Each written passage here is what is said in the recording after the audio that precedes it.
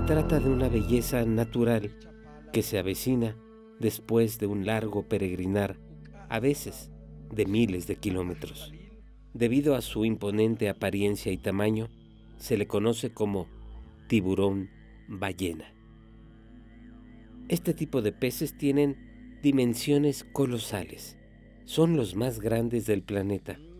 Pueden alcanzar incluso los 20 metros de longitud. No obstante su tamaño, son seres vulnerables que en su arribo a este paraíso corren graves riesgos.